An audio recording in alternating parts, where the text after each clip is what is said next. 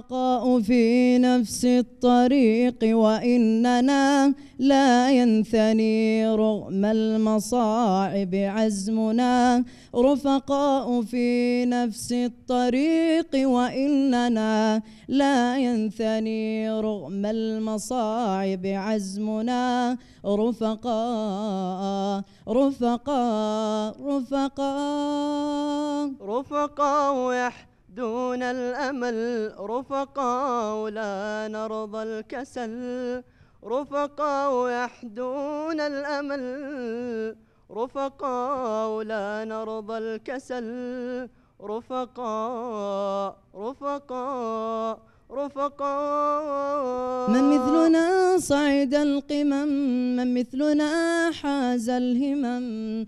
من مثلنا صعد القمم من مثلنا حاز الهمم. رفقاء رفقاء رفقاء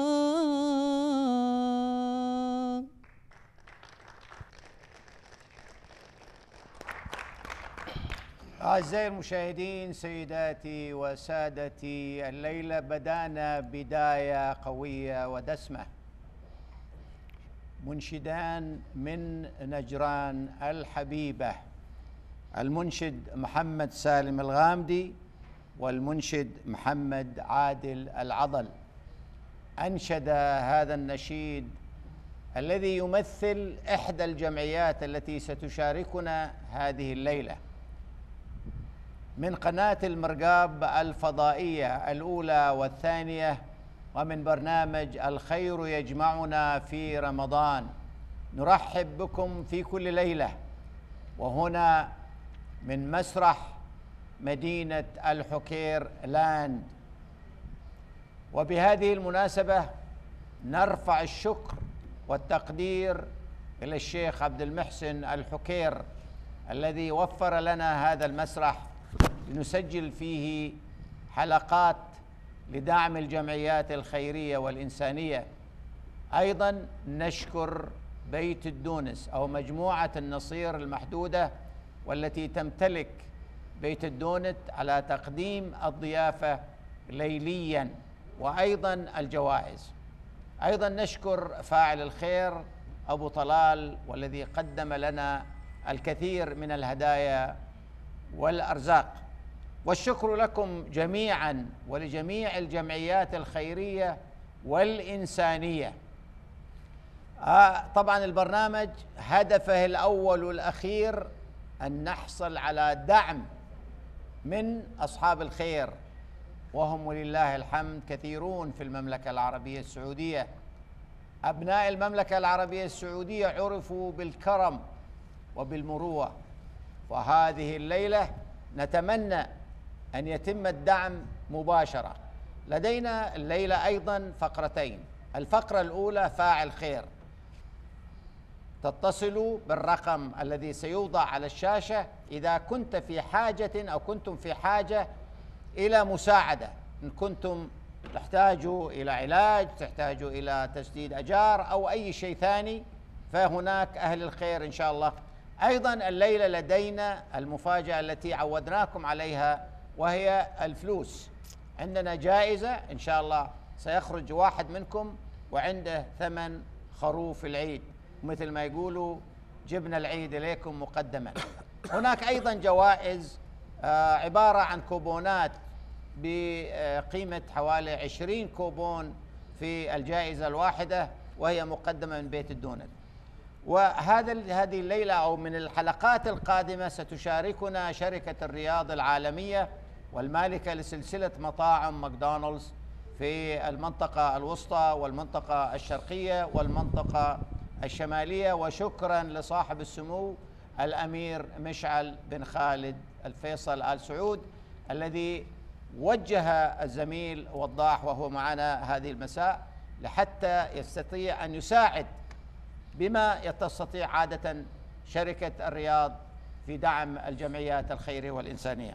الليلة لدينا كما قلت مجموعة من الشخصيات الهامة وأنا سعيد كل السعادة أن يكون معي زميل قديم ولكنه الشخصية التي دائما أعتز وأفتخر بها آه، وهو سيمثل جم- الجمعية الخيرية للطعام إطعام معنا الأستاذ الدكتور عبد الله محمد الفوزان وهو أستاذ علم الاجتماع وعميد معهد البحوث جامعة حائل في عروس الشمال. حياك الله دكتور. أهلا وسهلا. حياك الله دكتور محسن. وأنا سعيد جدا حقيقه اني اكون معكم وأيضا مثمنا لهذه القناة المرقاب هذا الدور الخيري الذي يمثل رافد أساسي للعمل الخيري. هذا اولا. ثانيا دعني أقدم التهنئة لمقام خادم الحرمين الشريفين وولي عهده وولي ولي العهد وأيضا للأسرة المالكة الكريمة وللشعب السعودي الكريم هذا الشهر الفضيل. نسأل الله سبحانه وتعالى أن يجعله شهر خير وبركة على الجميع. وأيضا فخور جدا بأن يكون مع هذه الكوكبة من شبابنا الذين فعلا يمثلون العصب الرئيسي في العمل التطوعي والعمل الخيري وإدارة هذا العمل فأنا والله فخور. وأيضا هذا الجمهور الحبيب الذي يوجد أمامنا وأيضا الجمهور خلف الشاشات من الأخوة والأخوات. نسأل الله سبحانه وتعالى أيضا أنت والفريق العامل معك ألا يحرمكم الأجر. وأيضا للشيخ عبد المحسن حكير الذي تبنى مثل هذا المشروع في مثل هذا المبنى. نسأل الله سبحانه وتعالى أن لا يحرمه الأجر وأن يجعل ذلك إن شاء الله في ميزان حسنات ولا ننسى الحقيقة رئيس مجلس إدارة قناتي المرقاب الأولى والثانية الشيخ مسعد بن سعود بن سمار الذي حثنا على عمل فعل الخير في هذا الشهر الفضيل. وهذا ليس لا يستغرب والعمل الخيري أحد روافده الأساسية هو العمل الإعلامي الذي يمكن أن يوصلوا إلى شريحة كبيرة جدا. فجزاهم الله عنا خير لتبني مثل هذه المشروعات ونسأل الله سبحانه وتعالى أيضا أن يجعل هذا في ميزان حسناتهم جميل.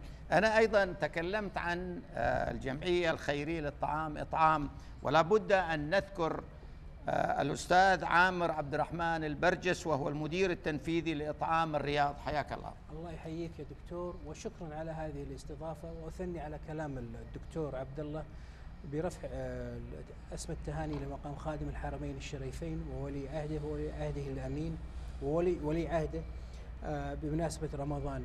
وأشكر آه، العم عبد المحسن الحكير على على فاعل الخير الكبير بصراحة على استضافتنا هنا وهذا الشيء غير مستغرب عليه والشكر موصول إلى الشيخ مسعد بن سعود بن سمار على هذه المبادرة الجميلة بحيث أن جميع الجمعيات الخيرية الموجودة في المملكة آه، تطرح رؤيتها وأهدافها ورسالتها عبر برنامجكم آه، الخير يجمعنا في رمضان. شكرا حينما أذكر نجران ترتسم الابتسامة على وجهي. فنحن نتكلم عن منطقة غالية وعزيزة وهم الذين يمثلون الحد الجنوبي. هم الذين رفعوا الرأس عاليا. يا أبناء نجران نحن فخورون بكم دائما وابدا. وهذه الليلة وللمرة الثانية نستضيف جمعية من نجران الحبيبة وهي جمعية رفقاء برعاية الأيتام بنجران ويمثلها الشيخ أسعد فرحان الفيفي نائب رئيس مجلس الإدارة. حياك الله شيخ. الله يحييك ويبارك فيكم ويجزاكم خير على هذه البادرة الطيبة. وفي البداية أتقدم بالتهنئة لمولاي خادم الحرمين الشريفين ولي عهده ولي ولي عهده الأمين. على آه، هذا الشهر الكريم وأسأل الله سبحانه وتعالى أن يجعله شهر خير ورحمة.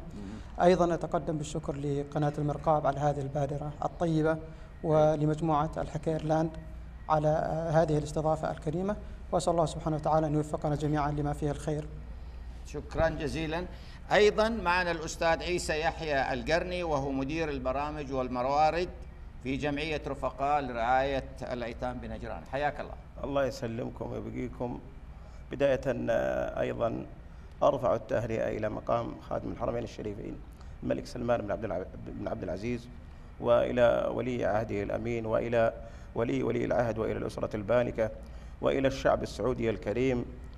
ولكل آه، من يشاهدنا عبر هذه الشاشة الجميلة شاشة قناة المرقاب السباقة إلى هذا العمل المميز الذي إذا ذكر تشكر حقيقة عليه ولن أزيد على ما ذكره أساتذتنا وأحباؤنا معنا في هذا اللقاء إلا أن- أنني أبتهل بالدعاء إلى الله سبحانه وتعالى أن يجعل ما تقومون به في ميزان حسناتكم أجمعين. لك على أساس تكمل لأنه لازم نبدأ آه، سأبدأ الآن بالجمعية الخيرية ل- للطعام إطعام آه، إحنا الحقيقة عادين معلومة بسيطة تعد الجمعية الخيرية للطعام إطعام مؤسسة غير ربحية متخصصة بالأط- بالطعام وتسعى لخلق وعي ونشر ثقافة حفظ النعمة في المجتمع السعودي من خلال إقامة معارض تثقيفية وتقديم ندوات ومحاضرات توعوية لتثقيف المجتمع بأهمية حفظ النعمة. أستاذ آه، عامر نبغاك تعطينا نبذة مختصرة عن آه، إنجازات الجمعية منذ تأسيسها في المنطقة الشرقية ثم فتح فرعها في الرياض اللي أنتم ترأسوه بسم الله الرحمن الرحيم. لا يخفى عليكم أن الجمعية انطلقت في المنطقة الشرقية بمبادرة من رجال الأعمال أو أنا أسميه بصراحة رجال الخير. نعم.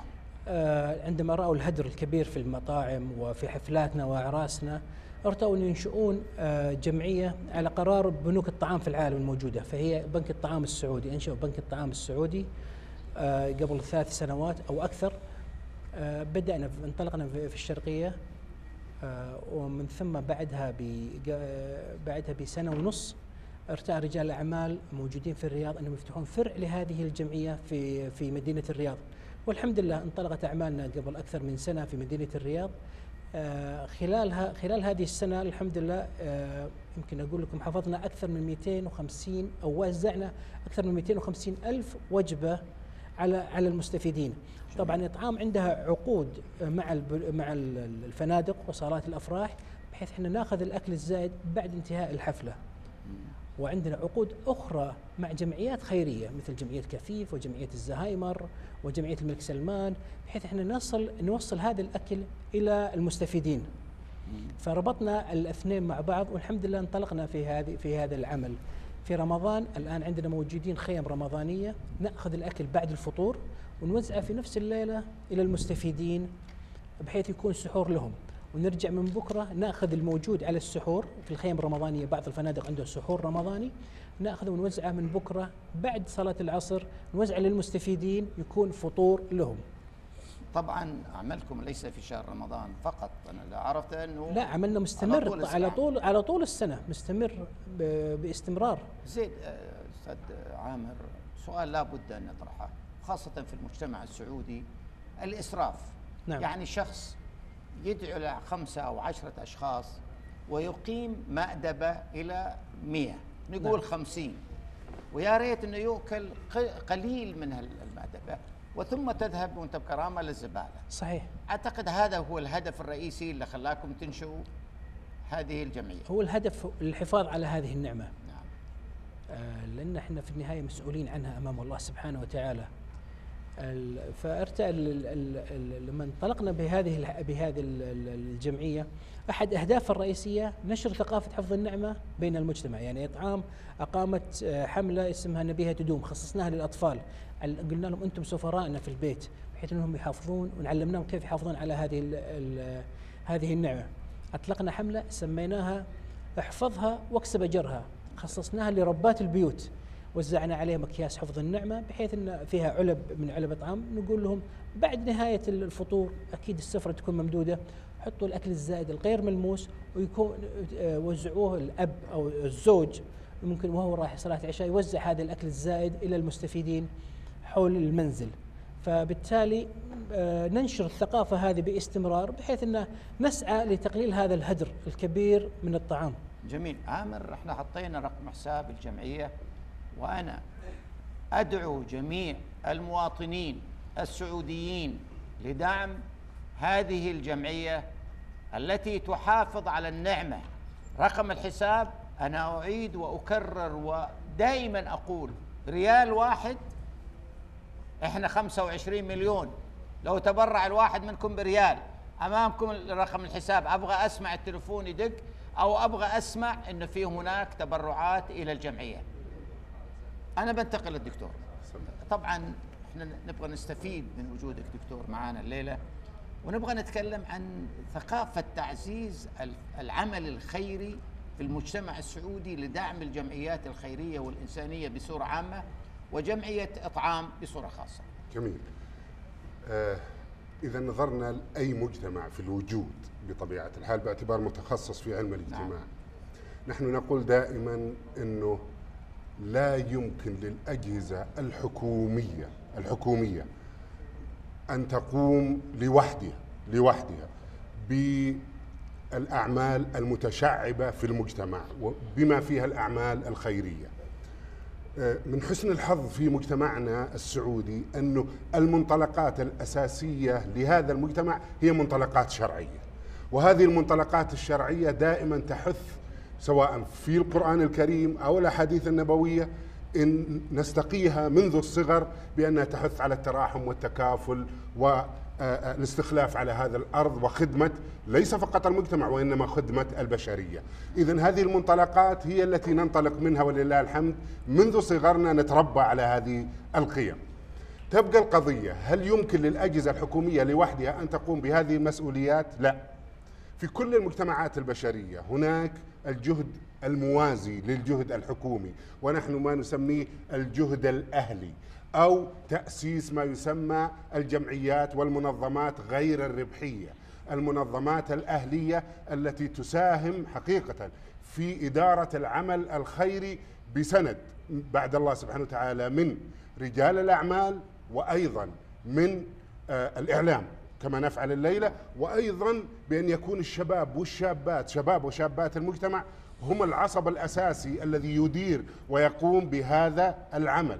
ولذلك ولله الحمد شاهدنا في مجتمعنا أن كثير من شبابنا وشاباتنا يقومون بهذا الدور. فقط هم يحتاجون من يأخذ بأيديهم من يدعمهم لإدارة هذا العمل. ولذلك من هنا كما تفضلت يا دكتور محسن قبل قليل نسائل ونسأل رجال الأعمال الخ- الأخيار وهم أخيار إن شاء الله في مجتمعنا أن يكونوا خير داعم لمثل هذه السواعد التي فعلا آثرت بأن توقد شمعات توقد شمعات بدلا من أن تلعن الظلام.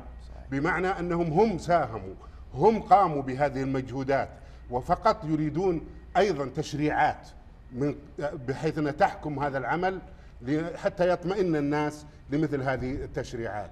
أيضا الإعلام نحن نقول أنه لا يمكن لأي عمل أن ينجح عمل خيري إلا بسند إعلامي يستطيع فعلا أن ينشر التوعية ويحث على عمل الخير وهذا ما قامت به قناة المرقاب أسأل الله سبحانه وتعالى ألا يحرمهم الاجر جميل. دكتور أنت جبت الآن نقطة وإحنا كنا من قناة المرقاب نبغى نطرح مبادرة بفكرة وسؤال. لماذا فكرة قناة المرقاب تطرح على جميع القنوات العربية والإسلامية وخاصة تلك القنوات التي تملكها أو لها استثمارات سعودية.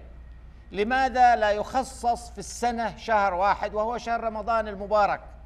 ويقدم من خلاله برامج خيرية وإنسانية كما فعلت المرقاب. لأنه الآن بعض القنوات وبدون تسمية ليست لها صلة بشهر رمضان المبارك. كل المسلسلات وكل البرامج وكل وكل إساءة لهذا الشهر الفضيل.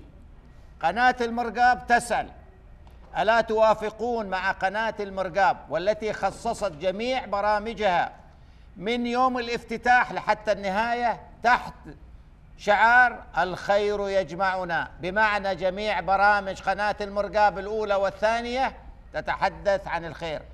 ننتظر منكم الإجابات. هل أنتم راضون عن ما تقدمه بعض القنوات الفضائية من هذه المسلسلات؟ هذه البرامج التي تتكلم عن المخدرات والخيانات و و والاخره ثقفوا أبناءكم وخلونا نعيش في الخير شهر واحد لن يضركم. أنا بنتقل لك. أه، نبغي نتكلم عن ثقافة حفظ النعمة منذ البداية من الأسرة لأنه إحنا إذا ما نعلم أبنائنا هذه الحفظ حنكبر نفس الشيء يعني الشاب بيروح يعزم له. خمسة ستة شيء يتوارثه. بدل ما يتوارث مثل ما قال الدكتور يجب أن نتوارث الأشياء الخيرية الأشياء الإنسانية وليس الأشياء المضرة للمجتمع وللوطن ككل. آه، هذه واحدة من سياسات الإطعام. أنا قلت لك إن إحنا أقمنا حملة نبيها تدوم مرتين. أقمناها خصصناها للأطفال الابتدائي أقمنا حملات حفظ النعمة خصصناها لسيدات ال- ال- السيدات أو ربات البيوت. ال- ربات البيت لما ربة البيت وال- أو الأم في المنزل. لما تبدأ تعبي زائد الطعام في هذه العلب البنت تشوفها تتعلم منها خاص تتعلم منها. تعطيها الابن يوديها أو يوصلها بالأحرى إلى إلى مثلا عمال موجودين في الشارع أو هذا. الابن يتعلم خاصية العطاء. وكلهم بالتالي يتعلمون أول شيء الحفظ النعمة ويتعلمون العطاء. هذا ما تسعى إليه إطعام باستمرار بنشر هذه الثقافة. آه، قبل آه، قبل ست شهور أقمنا آه،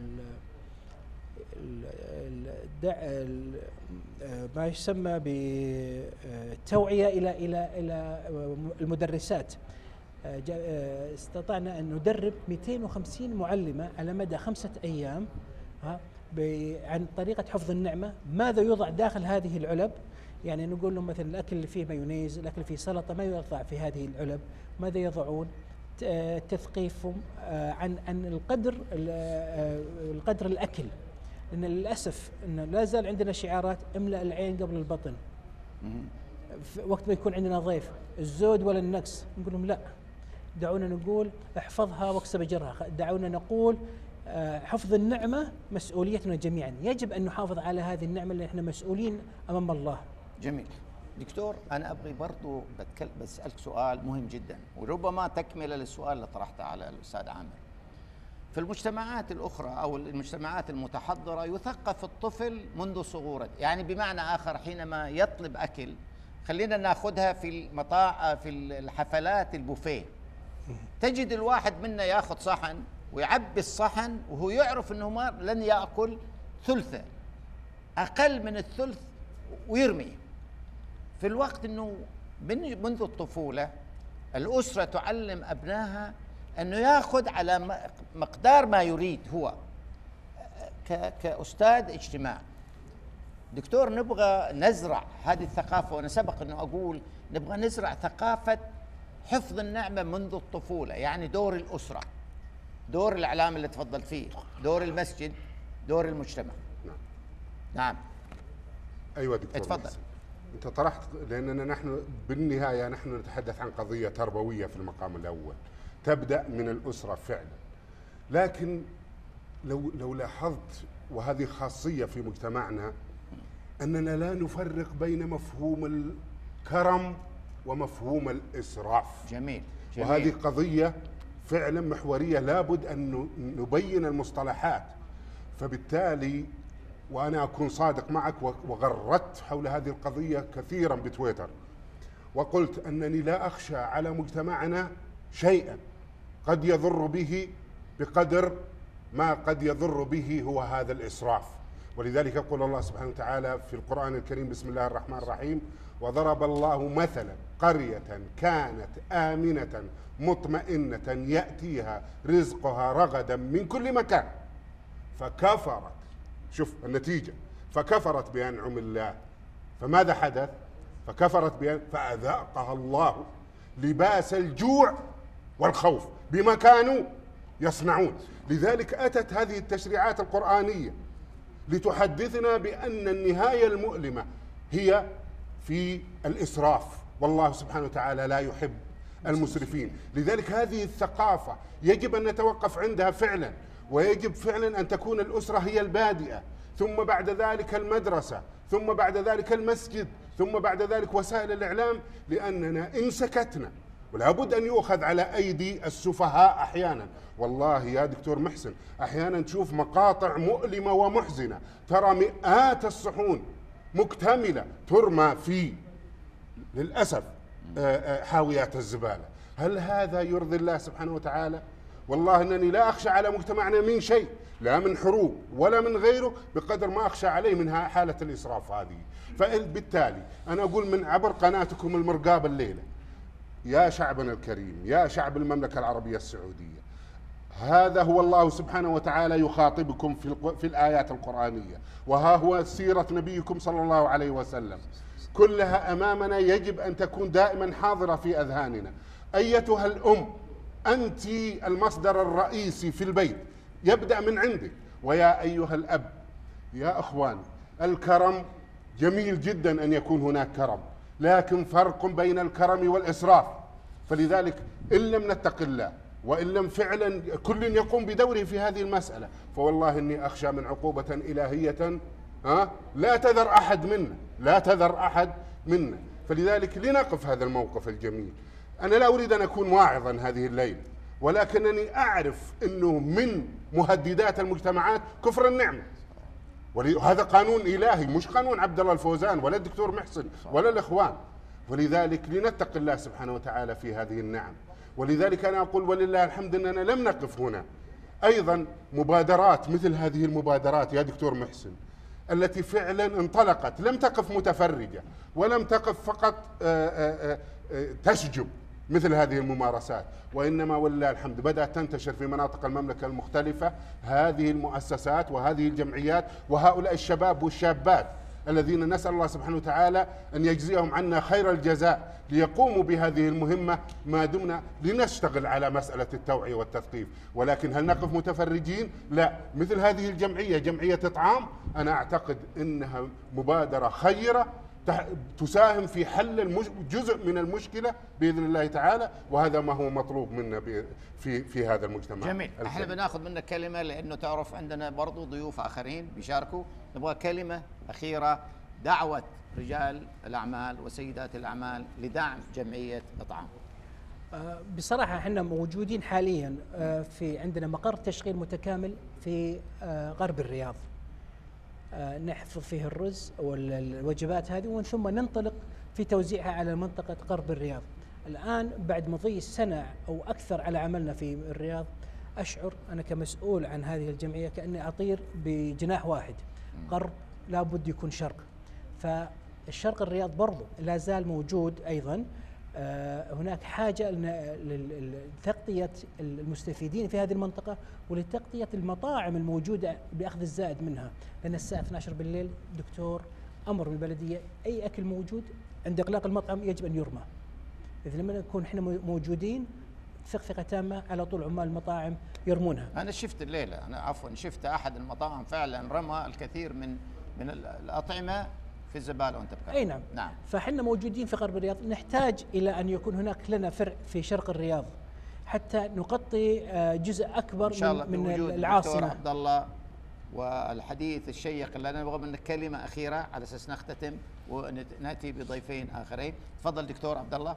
أنا أقول إن شاء الله تعالى لدي قناعة بأن مثل هذه البرامج ستقود إلى التوعية لا نيأس. بإذن الله تعالى مجتمعنا في خير. ورجال الأعمال خيرين والناس يريدون فقط التذكير. الكل يا دكتور محسن الآن لو تسألوا عن التبذير سيشجب هذه الممارسة صحيح. والإسراف. لكن الكل يمارسها مع الأسف وهذه حالة من التناقض الثقافي الموجود في المجتمع. لذلك لتكن أفعالنا انعكاس لثقافتنا الشرعية التي تدلنا على الخير دائما. فمن هذا المنطلق أنا أقول بإذنه تعالى أننا سنبدأ مرحلة جديدة ها؟ وأيضا الدولة ولله الحمد تبنت كثير من المواقف التي ردعت فيها بعض المناسبات التي فيها إسراف وتبذير للطعام وهذا حقيقة نشكر عليه المسؤولين الذين اتخذوا إجراءات لمنع مثل هذه المناسبات بأن يكون الطعام يرمى ويهدر في حاويات الزبالة نسأل الله آه، سبحانه طبعا وتعالى. نيابة عنكم جميعا. نشكر الأستاذ الدكتور عبد الله محمد الفوزان أستاذ علم الاجتماع وعميد معهد البحوث بجامعة حائل عروس الشمال وأيضا الأستاذ عامر عبد الرحمن البرجس المدير التنفيذي لأطعام الرياض. نشكرهما الحقيقة لمشاركتهما في برنامج الخير يجمعنا في رمضان. الآن ناخذ فاصل مع المنشدين. عندنا نجوم الخير. لديهم نشيد عزيز وغالي علينا جميعا. تفضلوا تفضلوا. أنتم جاهزين؟ مكانكم. نبغى نسمع النشيد على أساس نودعكم ونستقبل آخ ضيوف آخرين. تفضلوا. طلع البدر علينا من ثنيات الوداع.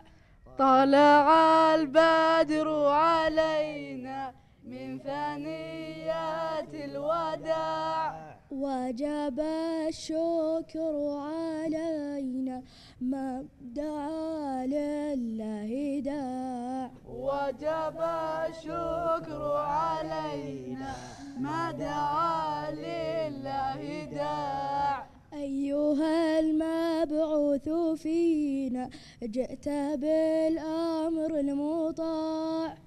أيها المبعوث فينا جئت بالأمر المطاع. جئت شرفت المدينة مرحبا يا خير داع جئت شرفت المدينة مرحبا يا خير داع طلع البدر علينا من ثنيات الوداع.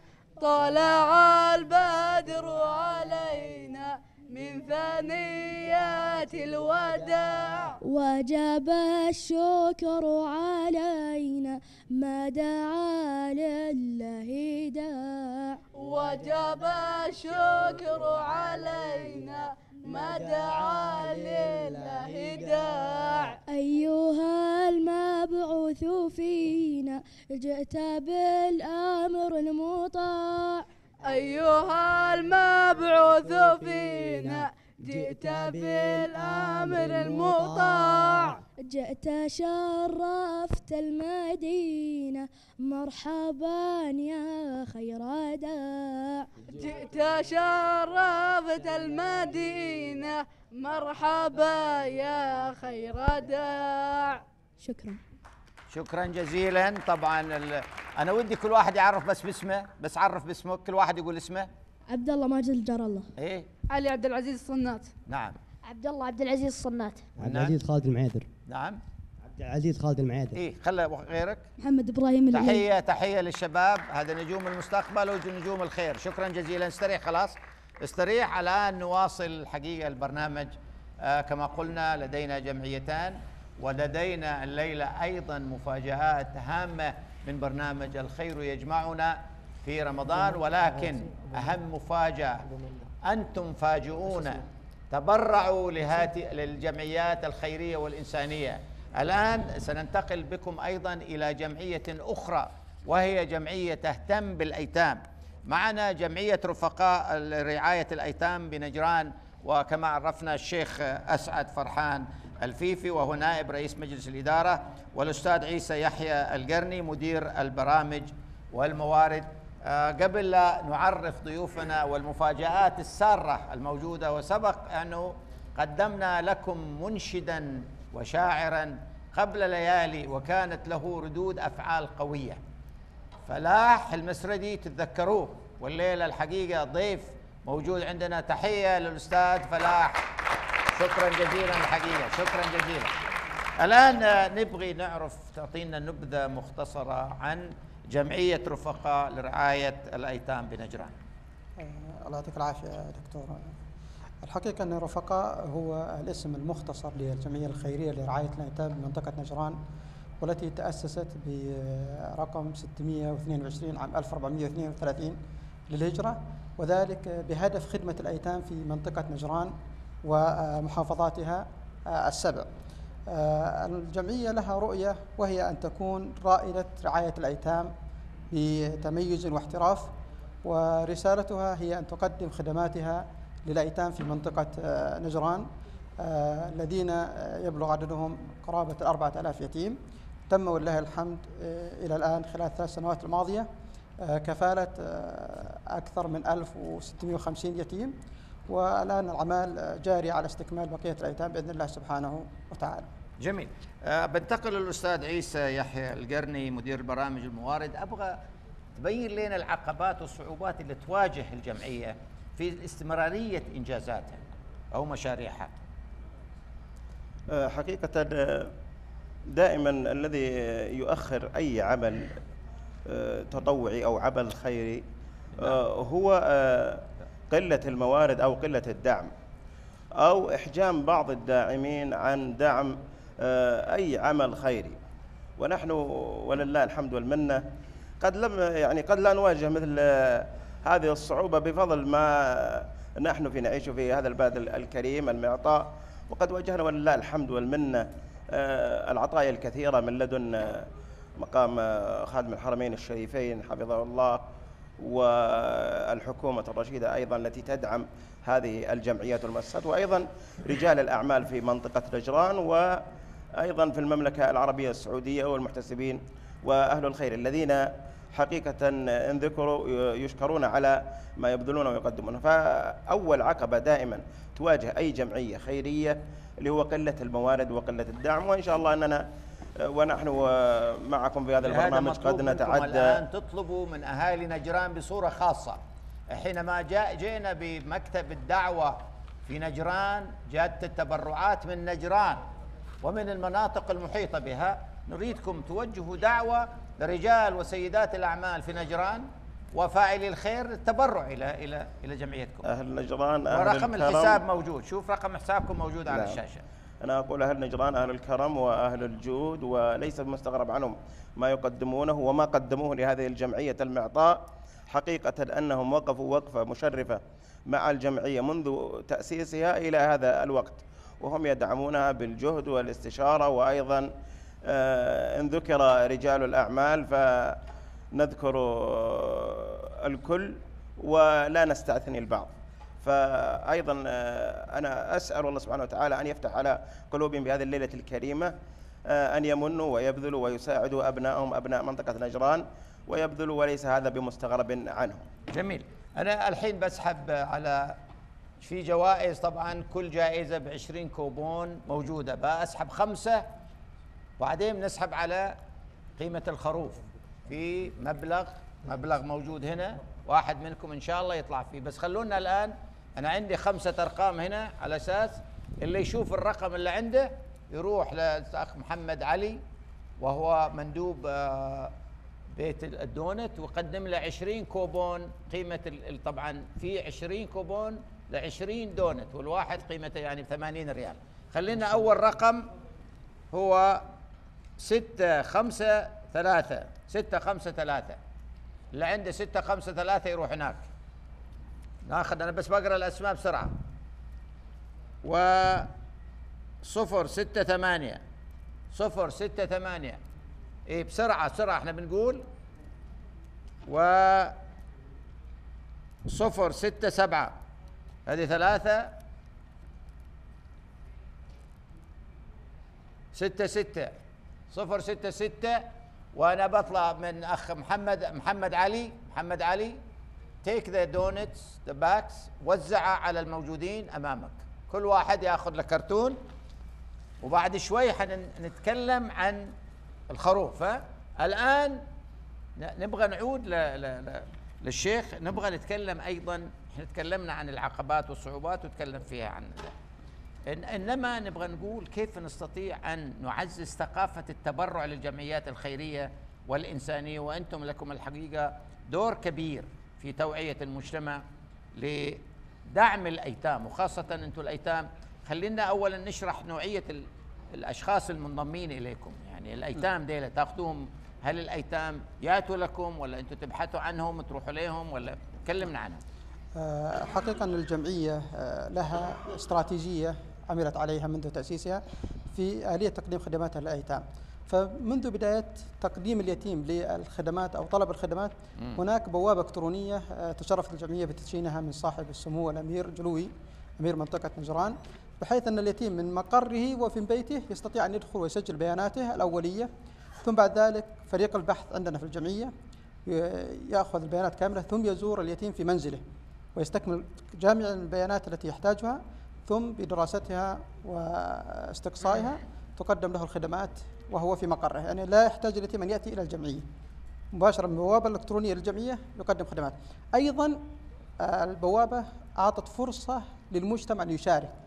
فهناك بوابة فاعل خير. يستطيع هو أن يدخل ويدينا بيانات أي يتيم قد يتعفف لا يأتي إلى الجمعية. فإذا كان الشخص يعرف يتيم يدخل ويسجل بياناته. الجمعية مباشرة تتواصل معه. أيضا بوابة أخرى للكفلاء الذين يريدون يكفلوا يدخل ويسجل بياناته. عندنا قسم الموارد يبدأ بالتواصل مع هذا الكافل وإعطاه بيانات يحتاجها من سجل آه، الجمعية الرسمي ومن أرقام حساباتها ثم بعد ذلك يستطيع أن يكمل إجراءاته النظامية عن طريق البوابة الإلكترونية أيضا يستطيع أن يتابع حالة هذا اليتيم حالته الدراسية حالته الصحية حالته الاقتصادية عن طريق البوابة الإلكترونية ولا يحتاج أنه يزور إلى- مقره أو إلى آه، منزله. آه، كلمة أيضا آه، التجار ورجال الأعمال حقيقة عندما يتذكر الإنسان قول النبي صلى الله عليه وسلم أنا وكافر اليتيم كهاتين في الجنة. وأشار بالسباب الوسطى وفرق بينهما. حقيقة عندما يستشعر الإنسان هذا القرب من النبي صلى الله عليه وسلم في الجنة هذا يعطيه حماس ودافع إلى أن يكون من المبادرين إلى كفالة الأيتام. والأستاذ عندهم أيضا في قسم الموارد والبرامج كفالات كثيرة. يعني الكفالة التي تقدم اليتيم ليست نقدية فقط وإنما نقدم له أيضا الدورات التدريبية. نقدم له الد- الدروس الخصوصية التي يحتاجها في المدرسة إذا كان متعثر أيضا نقدم لها الدورات التي يحتاجها في الجامعة من اختبار القدرات من اختيار أسأل التخصص. سؤال حقيقه عندكم أي وقف أي مشاريع الآن في الوقت الحاضر نعم. اللي تحتاج إلى مساعدات ودعم؟ عشان ندعو جميع فاعلي الخير ورجال الأعمال وسيدات الأعمال للتبرع لهذه الأوقاف. نعم. تفضل. لدى الجمعية وقف قائم نعم. ولديها الآن آه، مشروع الوقف الثاني. وقد بدأت آه، اشترت قطعة أرض وفي طور الانتهاء من التصميمات آه، النهائية وأيضا آه، يعني وضعت التكلفة الإجمالية التقريبية للمشروع قرابة ال 35 مليون. ونطمح إن شاء الله تعالى أن آه، يمن الله عز وجل علينا ونستكمل هذا المشروع إن شاء الله تعالى في القريب ليخدم كافة شرائح ال- الأيتام لدينا في الجمعية وفي منطقة نجران عموما. الشيخ أسعد ذكرت على أساس كفالة اليتيم. كيف كيف يتم الإنسان لو أراد إنسان يكفل يتيم وخارج نجران؟ هل في إمكانية كفالته من خارج نجران ولا بس مخصص لأهل نجران؟ بالنسبة للكافرين حتى من خارج نجران استطاع أن يكفل. آه، أيتام داخل نجران. وبذلك بالتواصل على رقم حساب الجمعية وعلى رقم جوال الجمعية نعم. سواء برسالة SMS أو بالرسالة واتساب أو بالاتصال ويعطى كامل البيانات التي يحتاجها عن هذا اليتيم وأرقام جميل، حسابات جميل. الجمعية. زين. الآن إحنا طبعا داعين آه، إحنا خليناهم زي ما يقول مسك الختام آه، والحقيقة يعني سمعنا الكثير عنكم فنبغى اولا نرحب بالشاعر والمنشد حسين آل البيد حياك الله. الله يحييك. عطنا نبذة مختصرة عن حياتك. بداياتك كيف بدأت؟ في الإنشاد أول شيء- والشعر مع بعض. أول شيء أحب أمس على أخواني الموجودين عليك بالخير. وعلى الضيوف هم أهم شيء هم اللي تركوا إشغالهم يوم شافوا الإعلان في المرقاب الحين موجودين تركوا جو. لا أبو زيد من دوله الكويت ولا المنشد خالد العيلي. والله نرحب فيهم كان من أول قول لهم يعني. فلاح المسرد أهلا اذا غافنا في تويتر وفي القناة وأخواني اللي جايين معهم. ال- اللي يبي يعرف عن حسين ومتى بداياته جوجل ما خلاه شيء ولا تويتر. إحنا حلقتنا اليوم خيرية. صحيح. وتفاجأت بأخواني إنهم جايين اللي هي وفاق. بس عندي سؤال. لا، هذه في- نجران بس ولا المملكة كلها؟ لا هم مكتبهم أعتقد في نجران فقط جمعية. هذه جمعيتكم في نجران فقط. في نجران فقط. إيه، لها قطاع خاص. أنا اللي استغربت كم كم كم عمر هذه الجمعية؟ ثلاث سنوات. ثلاث سنوات. أنا من أبناء نجران ولا طلعت منها وجميع الاحتفالات خيرية حكومية موجود فيها. وتفاجأت المفروض نحن منسكين العام الأول. معهم لكن الله يعطيهم الخير والعافية ونوقف معهم بالحال وبالمال وبالوقفة و, و... أنا حقيقة أنكم- إني استغربت وهذه حاجة تشكرون عليها قناة المرقاب يعني سمعت. لكن لأن أعرف في أيتام ناس واجد في نجران ما استفادوا من التبرع ما ما ما وصلهم. أنا واحد من أبناء المنطقة ما درت بهذه الجمعية. ويمكن هذا الهدف من هذا الهدف. أنا أقول لكم تشكرون عليه. لكن نعم. نتمنى خلينا خلينا إحنا أنا بتكلم معك بشو أنا لو أنا أنا لو زهمت. أنا لو زهمت هالنجران ذا الحين قلت تكفون تبرع لهم جالهم فوق 20 مليون. صليت على النبي. لكن أتمنى الأساسيات حقتهم أو أنهم يوظفون أحد من أبناء المنطقة. يعني كم يتيم ما يقدر يصلهم صح ولا لا؟ لظروف ال- المسافة البعد ما يدري عن مكاتبهم. أنا باب صحة وسلامة وفي المنطقة ما أدري عنهم شيء. سلامتكم. أنا كيف تقدروا تعرفوا نفسكم الحين خلينا بعدين نتكلم. يعني خلينا ننتقل. نتكلم عن الحين في كم يتيم يتابع اللقاء يبي يجيهم. ما يدري كيف التواصل اللي عندهم. جميل. لا في رقم الحساب عندكم؟ موجودين. عندكم رقم أنا أتكلم؟ يتيم تليفون؟ المتبرع المتبرع أنا الحين آه، المتبرع بيصل بإذن الله. جميل. لكن اليتيم كيف تصلون له أنت في هال- هذا السؤال. وعندنا آه، بالنسبة للأيتام عندنا جولات تعريفية على المدارس. خلينا أتكلم اولا ارحب بالمنشد المنشد ظافر الأحبابي وهو الحقيقة معروف بالأناشيد الوطنية بصورة خاصة. حدثنا عن نفسك مثل ما عرفنا آه، الاستاذ حسين. كلمنا شوي ونبذة مختصرة عنك. الله يمسيك بالخير أخوي محسن. مسي بالخير على ضيوفك وعلى أبو سالم. وعلى الحضور اللي نشكرهم أخويانا اللي جو معنا واللي متواجدين من قبل. ونشكر قناة المرقاب القائمين على قناة المرقاب على ذا البرنامج الخيري. الله يجزاهم الخير إن شاء الله. جميل. أنا سمعت إنه في دويتو بينكم أنتوا الاثنين. هل في إمكانية نتشرف بسماع هذا دويتو؟ والله من أبو خلال سالم هذا البرنامج الخير يجمعنا في أبو رمضان سالم بيني وبينك كم دويتو؟ خلينا نسمع. ابشر إذا طال. عمرك ابشر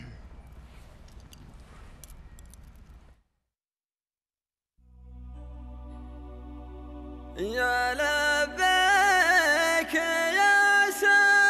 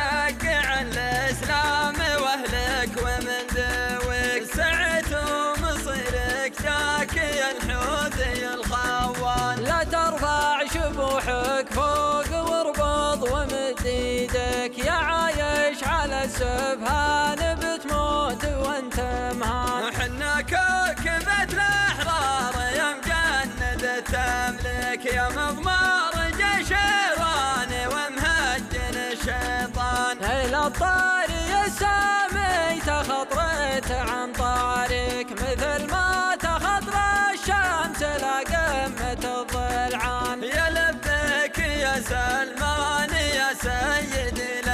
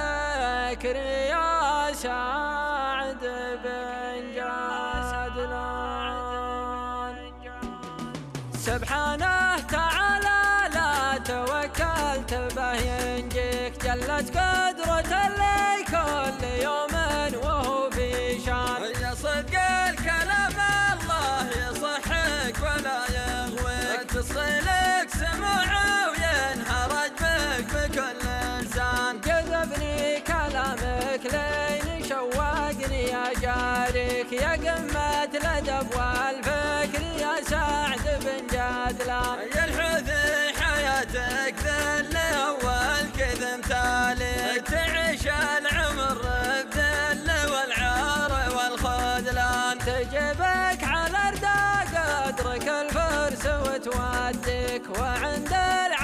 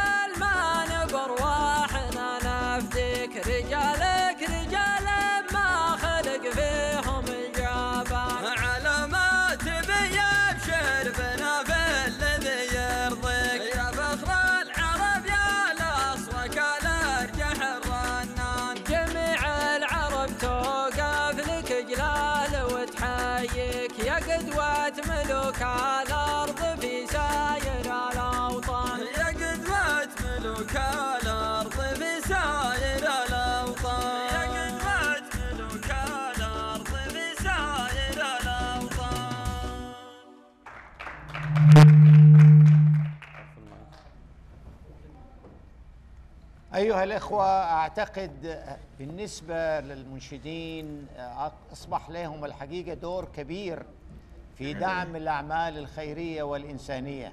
وأنا الحقيقة اللي أفتخر به أن أكثر أو أغلب المنشدين والشعراء هم صادقين في مشاعرهم لأن هم يستخدموا المشاعر والأحاسيس. فمثلا شاعرنا ومنشدنا الحقيقة اللي قاله هذا واقع. الواقع اللي قاله الأستاذ حسين عن بالنسبة عفوا يعني هذه مو مو يعني ترى مو انتقاد لكم. لكن إذا كان هو ابن من أبناء نجران وهو معروف واسمه معروف في في في ال- في المنطقة بل في جميع مناطق المملكة العربية السعودية وفي دولة الكويت. واولا نقدم تعازينا إلى الشعب الكويتي الشقيق. تحية لكم الحقيقة. ونضمن لكم أنكم منتصرون على الإرهاب إن شاء الله. نحن معكم يا شعب الكويت الحبيب. أنا من تربية الكويت الحقيقة وأنا فخور جدا بوجودكم معنا الليلة. في الخير يجمعنا في رمضان وأنتم أهل خير إن شاء الله. فتحية لأبناء وش- الكويت. طبعا نبغاك نكون صريحين. يعني لماذا لم تصل رسالتكم إلى مثلا شخصية إذا. كان مثلا شخصية من الشخصيات مثل حسين ما وصلت له كيف تصل للأيتام؟ اسمح لي أنا بقاطع قبل نقطة بسيطة. أول شيء والله إني معهم. لكن أنا عارف أنت معاهم. أنا سمعت لا لولا غيرتك عليهم ما لا. لا وأنا بعدها بتشوف شيء يسرك أنت. قبل قبل ما انت تناقش في هذا الموضوع الحقوق ما نبغاها تنسب أنت نسبت القصيدة هذه لي.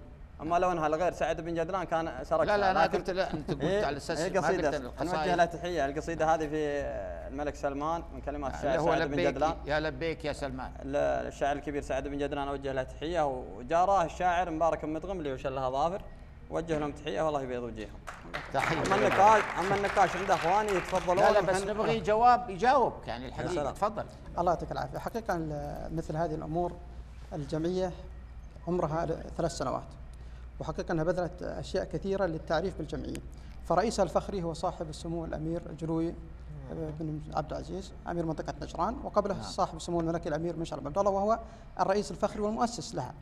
آه الجمعية استغلت جميع الاحتفالات آه للتعريف الجمعي فلها في كل عيد مناشط تقدم في المولات الكبيرة في منطقة نجران للتعريف بنشاط الجمعية. ولها إن شاء الله بعد فترة الآن من خلال هذا البرنامج وقناة المرقاب المشاهدة في كل جميع مناطق المملكة العربية السعودية وفي دول الكوي... آه، دول الخليج العربي هتشاهد. هل عندنا أي شيء عن آه، جمعية آه، خلينا نشاهد مع بعض هذا الفيلم؟ ربما تصل رسالته لكل مواطن إن كان في نجران أو جميع مناطق المملكة العربية السعودية. خلينا نشاهد هذا الفيلم ونعود والاسم المسرح. المختصر الذي اختارته الجمعية ليكون عنوانا لها يعبر عن هويتها ويعرف برسالتها ويشير إلى طموحها. فهي تسعى لتحقيق رفقة المصطفى صلى الله عليه وسلم الذي كان روعة في عطائه جميلا في خلقه وخلقه. وهو القائل أنا وكافل اليتيم في الجنة هكذا. وأشار بالسبابة والوسطى وفرج بينهما. ومن هذا المنطلق نشأت فكرة تأسيس الجمعية لتكون نقلة نوعية في مجال العمل الخيري بالمنطقة. تمنا في المسار صوب العلا بافتخار نلقى شموخ تزرع وتجني الثمار فيها الأدب والوقار. في كل مجد عظيم في كل مجد عظيم. نلقى شموخ اليتيم تمنا في المسار. صوب العلا بافتخار نلقى شموخ اليتيم مسيرة رفقاء لثلاثة أعوام. أولا بناء الشراكات. قامت الجمعية بعقد اتفاقية تعاون وشراكة مع جمعية إنسان لرعاية الأيتام بمنطقة الرياض. قامت الجمعية بعقد شراكة مع مؤسسة بيت الخبرة للعمل على الجودة والحصول على شهادة الآيزو. كما قامت الجمعية بتشكيل مجلس الأعضاء الشرفيين والفخريين واستقطاب شريحة كبيرة من رجال الأعمال بالمنطقة. قامت الجمعية بتشكيل اللجان الاستشارية المتخصصة اللجنة الإدارية والمالية الأوقاف والاستثمار والبرامج والأنشطة. تدشين فريق رفق التطوعي. المشاركة فيما يزيد عن 12 معرضا خارجيا للتعريف بالجمعية. ثانيا الزيارات واللقاءات. زيارة ما يزيد عن مئة جهة خيرية وحكومية واجتماعية لتبادل الخبرات. زيارة المسؤولين والجهات الحكومية ذات الاختصاص بالمنطقة. ثالثا الفعاليات والمناسبات. نظمت الجمعية عددا من البرامج والمهرجانات. حضرها ما يقارب خمسة آلاف شخص من جميع فئات المجتمع. ومن ذلك حفل تدشين الجمعية في عام 1434 للهجرة. فعاليات اليوم العربي لليتيم. 1435 للهجرة. تنظيم أكبر احتفال نسائي لتكريم أمهات الأيتام. حضره 700 أم وسيدة أعمال بتشريف من صاحبة السمو الملكي الأميرة عبير بنت عبد الله بن عبد العزيز آل سعود. فعاليات احتفال فرحة يتيم 1435 للهجرة. وتوزيع هدايا صاحبة السمو الملكي الأميرة عبير بنت عبد الله بن عبد العزيز آل سعود على الأيتام. احتفالات عيدي الفطر والأضحى المبارك للأيتام. رابعا التأهيل والتدريب. يحصل كل موظف على 75 ساعة تدريبية. ليكون إجمالي ساعات التدريب التي يحصل عليها موظفو الجمعية 1500 ساعة تدريبية خلال السنة الواحدة. تأهيل تخصصي لبعض الوظائف التي تحتاجها الجمعية مثل استشاري ضمان وجودة دولي معتمد. إخصائي مسؤولية اجتماعية. خامسا إعلام رفقاء. تم تغطية أخبار ونشاطات الجمعية بما يزيد عن 500 خبرا على مختلف الصحف الورقية والإلكترونية. نتمنى أن يكون الفيلم واضح عن الجمعية ونتمنى أن يكون كلام الأستاذ حسين أو الشاعر والمنشد في محله لأنه هو صديق صادق. لولا غيرته على أبناء منطقته وعلى هذه الجمعية الخيرية الإنسانية اللي قاله أنا معاه. خلونا الآن نعود إلى المنشد الشاعر والمنشد حسين وأيضا المنشد ظافر. عندكم شيلات نبغى نسمعها والحقيقة ترى الجماهير كلها تنتظر منكم شيء الليلة. لا تطلع هذه الحلقة إلا بقوتكم والحقيقة ما قدمتوه في هذه الليلة يعتبر شرف لنا جميعا. الله يشرف تفضل. مق... الله يشرف مقدارك وحنا السعداء والشرف لنا. آه الشيء الثاني أنا باسمي بتكلم. أنا جاتني رسالة من أخواني المنشدين نعم.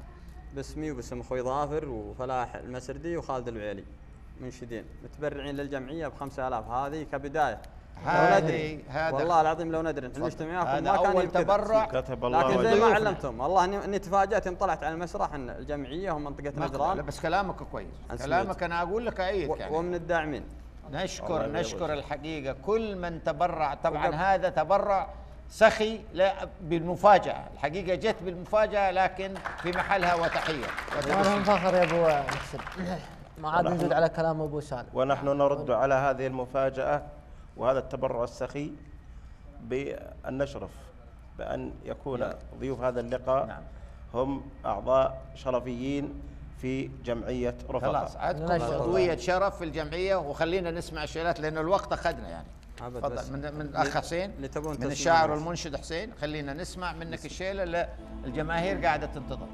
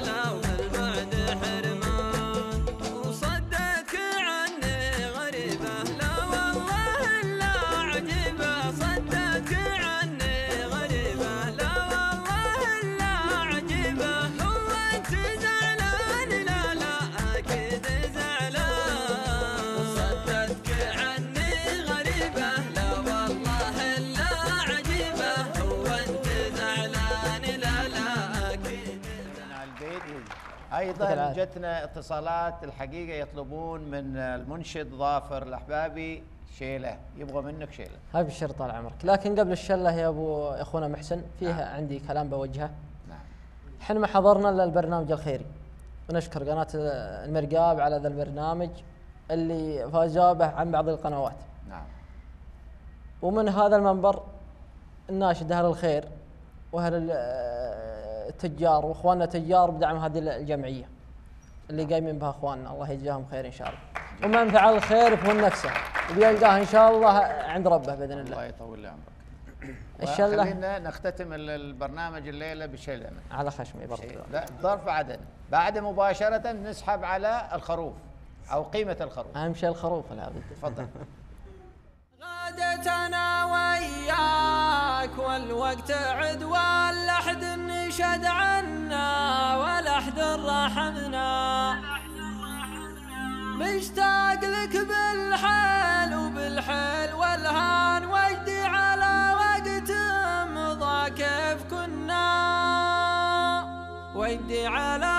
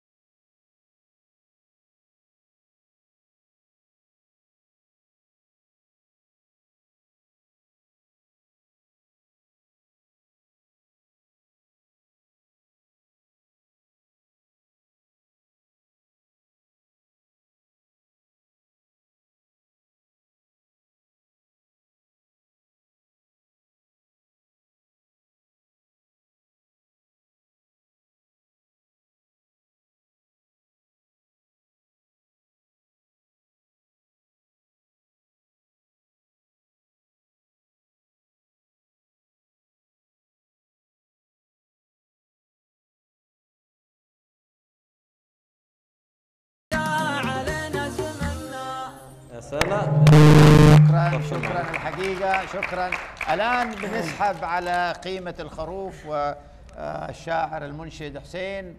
حيختار من سيفوز بقيمة الخروف الليلة. نسحب الرقم وتاخذ حق السحور تذبح على الخروف. خلينا نسحب أول رقم. طبعا إحنا عارفين إن بعض الإخوان اللي أخذوا الأرقام مشوا. خلينا نشوف. لازم يطلع الواحد منكم فايز بالخروف. طيب يا أخوي. خلينا نشوف. تستاهل تستاهل أنت معاقبني في كل مكان يا أخوي يلا طيب. ترى ما يعرف أحد. وارقام فقط شوف ما, يس... اسماء ما يصير نسحبها كلها هذه لا لا. تسحب واحد. مالكم إلا واحد؟ اي واحد. طيب. الرقم 58 موجود؟ 58 موجود تمام. تعال. شو اسمه؟ تعال خذ. جيب الرقم اللي عندك. وفي بس واحد لا خلاص. طيب. إيه. أنتم متبرعين وأنا متبرع الواحد ثاني الله. يطول عمرك هذا برضو اللي هو 751 751 من موجود. الشاعر المنشد. في أحد 751 وينه غير يقول لك؟ ما أحد عنده؟ هذا راح. ما ودكم يكنسل خلاص. ولا لازم. طيب 57 57 هو. أخوك برضو؟ يلا يلا تعال. تعال تعال. آه مبروك مبروك. مبروك. نشكر نشكر. طبعا إحنا اولا خلينا نقدم الشكر الجزيل طبعاً ونأخذ ها- منه كلمة. هذا باسمي نعم الحروف ذا الثاني باسمي باسم أخوي ناصر وجهوا له. تحيه ترى هذه- موجود من جده هديه هدية العيد من تفضل، تفضل. تفضل تعال تعال خذ من ال... اثنينكم شيل أخوك تعال. تعال تعال أجيك اشلك تعال خذ هناك علشان يصوروك وأنت تستلم ترى الظرف فيه فلوس صورني معه صوره. الله حيه كيف حالك شو اسمك؟ عندك خروف شو اسمك؟ يلا مبروكين نعم، مبروكين نعم. عطى الأرقام تفضل هذا. خذ هذا واحد وهذا. قيمة خروف ثاني تحية تحية تحية, تحية. الله يبارك فيك نبغى المنشدين تمشي نبغى الشعراء. والمنشدين تمشي. شكرا شكرا. العفو. كلامكم معروف. أنا أحب آه، طبعا كان ودنا إن إحنا نكون نستمر أكثر وأكثر لكن الحقيقة أثروا الحلقة. نشكر جمعية رفقاء لرعاية الأيتام بنجران الشيخ أسعد فرحان الفيفي نائب رئيس مجلس الإدارة والأستاذ عيسى يحيى القرني مدير البرامج والموارد. شكرا جزيلا لمشاركتكم معنا. أيضا نبغى ننهي البرنامج بشيلة من عندكم وختام. ابشر